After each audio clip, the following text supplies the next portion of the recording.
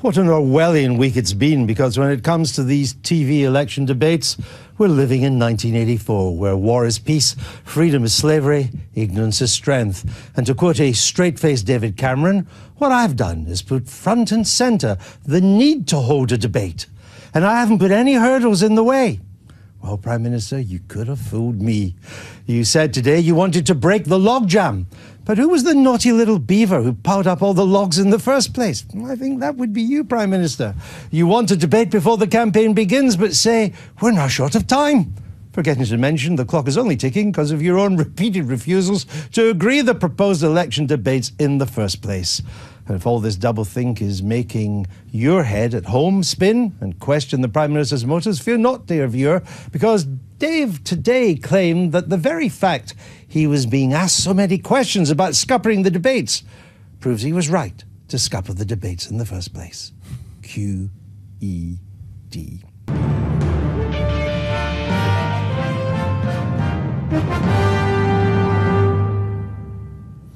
Rarely has a politician seemed quite so in demand. But invitations, importuning, and even accusations of cowardice don't appear to have diluted David Cameron's determination to avoid two of the scheduled three TV leadership debates, including the mooted head to head with Ed Miliband. So, is he frit? And if so, what of? And will the so called final offer Downing Street has issued to rivals and to broadcasters, the Prime Minister will do one debate, but only if six other party leaders can join in, prove to be an offer they can refuse? Here's Stephen Smith.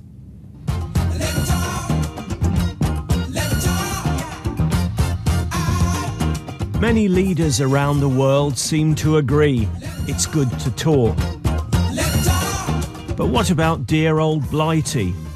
The leaders of the main parties went head to head last time in 2010. Our economy is stuck in a rut. Tonight's debate is about you. There's a lot to this job. 22 million people tuned in, and many observers felt the debates influenced the outcome of the election. This time around, the Prime Minister's Director of Communications has said Mr Cameron will participate in one TV debate only and it's not the proposed mano a mano with Labour's Ed Miliband. Ed Miliband and I debate uh, every week in the House of Commons, and we'll go on doing that right up to the election campaign. But look, we're now short of time because the mess, frankly, the broadcasters have made of this. So I'm unblocking the logjam, saying let's have this debate, a seven corner debate, get on with it before the campaign. And that is this. His professed view was rather different when he was opposition leader. I have to say to the Prime Minister, if he really thinks that these exchanges once a week are the substitute for a proper television debate, then he's even more out of touch than I thought. Well, it's now clear that David Cameron is ducking the debate with me. He's cowering from the public. The British people deserve this debate. I'll debate him anytime, any place, anywhere. He should stop ducking and weaving and he should name the date. Hands up who likes eating Mr Cameron's reluctance to mix it in a series of debates was meat and drink to his opponents. David Cameron's not going to turn up to the debate with Ed Miliband. You can't have a Miliband monologue. So let's have a debate. I'm prepared to debate with Ed Miliband, and my challenge to Ed Miliband is if he wants to scrutinise and challenge the record of this coalition government, David Cameron might not be prepared to do it, but I am. BBC executives and other broadcasters have yet to respond to the Tory terms, which would see them stuck with one debate featuring more than half a dozen party leaders. Who do you want to be your next Prime Minister? Letting everyone have their say is one thing, but trying to accommodate the spokespeople of seven, count them, different parties, all in the space of an hour and a half, well, critics say that's bound to get messy. Can I just say, I agree with Steve. Look, the group of seven is a nonsense, isn't it? I mean, it's. Uh it's not going to work. It's not going to tell us a great deal. People aren't going to have time to develop arguments. One on one, between the two potential future prime ministers are emerging from the general election, are having a serious argument over an hour. That is a that is a well worthwhile project, and I think that Cam- Mr. Cameron who up to now had handled it, things very well and sensibly, needs to think again. They're over. Cameron has killed them because he's decided they're a bit of a risk for him. Why do them? I don't blame him for that, but the broadcasters must now accept that for this election, they are dead. Many thought the UK had got the debating bug after the last election.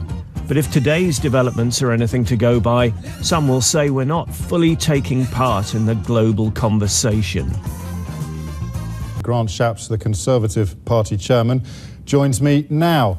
Um, Mr. Shapps, everybody's up for a toe to toe, a head to head, a Cameron Miliband clash, except your man Cameron. How come? Well, we can have a Cameron Miliband clash. Uh, he's put forward a proposal here to have Cameron Miliband and all the people who may end up uh, propping up a Sorry, Miliband. let, let, let, me, uh, let me clarify. When I said a. Cameron Miliband clash, I meant just them.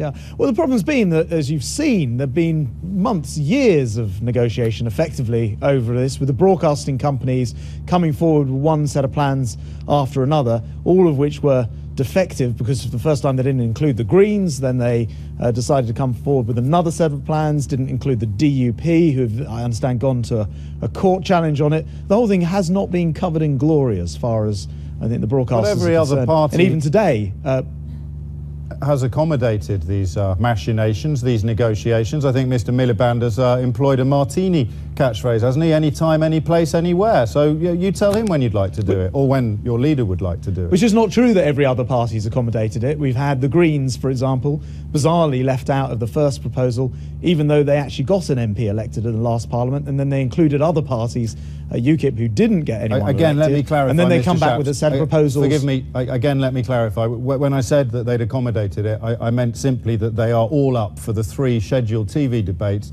as defined, except Mr.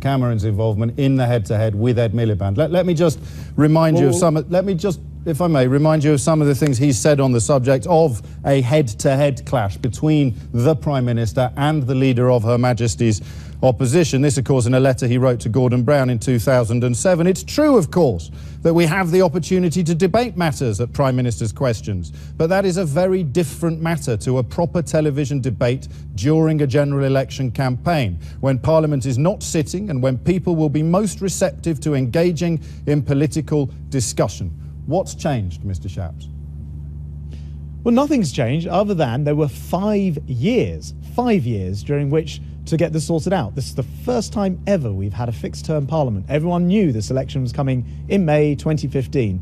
So the broadcasters had adequate time to sort that out. Despite that, they didn't involve the political parties. It's not true to say that everyone's happy, as I pointed out. The But- Greens and the DUP going to turn certainly aren't. And there have been various different proposals that have come forward, none of which have uh, really satisfied uh, everyone. So what David Cameron said now is that let's cut through this. Let's cut through the chaff. That's here's a simply proposal. not true, is it? debate. let's have all else, seven leaders, everybody and let's have it right now. Everybody else is going to turn up except Mr. Cameron. What has changed? Why has his appetite for this wonderful fight, this this this man-to-man clash, dissipated so completely and so entirely, so close to Judgment Day?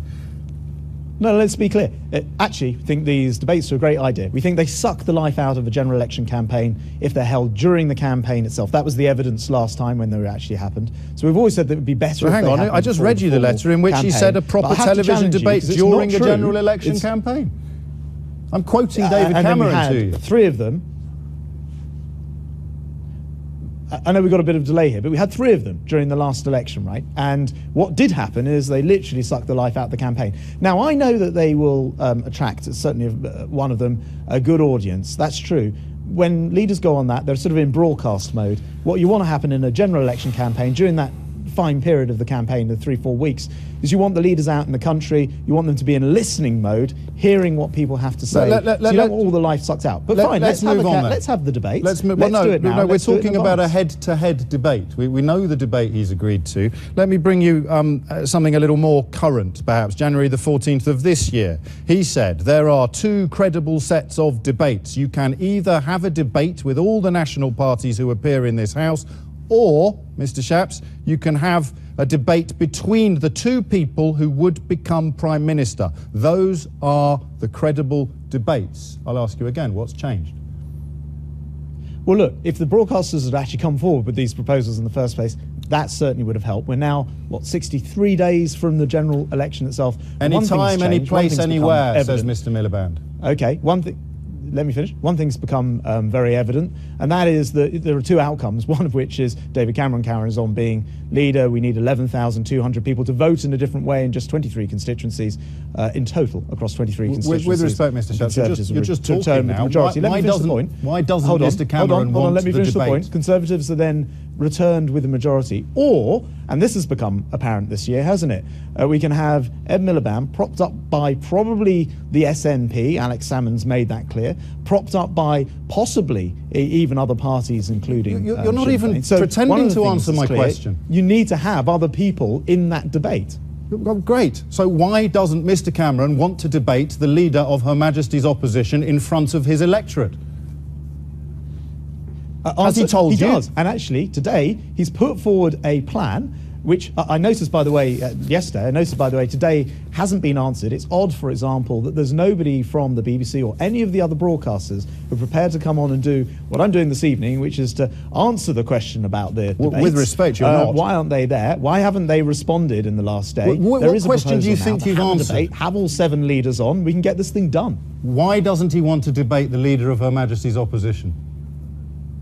He, he, does, and he debates the leaders of, uh, leader of Her Majesty's opposition every single week. But the fact of the matter is, we can have a debate in the next three weeks and have Ed Miliband there. Um, let's get this thing done. I don't know what the delay is, and I don't know why the broadcasters have suddenly gone quiet today uh, when they seem to have had plenty to say about it in the past. Grant Shapps, many thanks.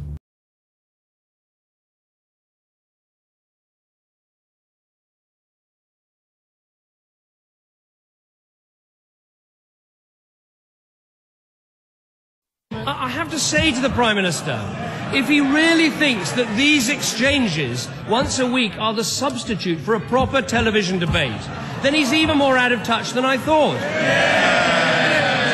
We have to be honest with ourselves. Not many people watch these exchanges. and not all those that do are hugely impressed with them. There are parliamentary systems that do have television debates. We've seen them in Italy, in Australia, in Poland. And I have to ask you, the Prime Minister has no, has no um, in principle objection. When he was Shadow Chancellor, he did a television debate against my right honourable friend, the, the then Chancellor of the Exchequer. So I have to ask him, what on earth is he frightened of?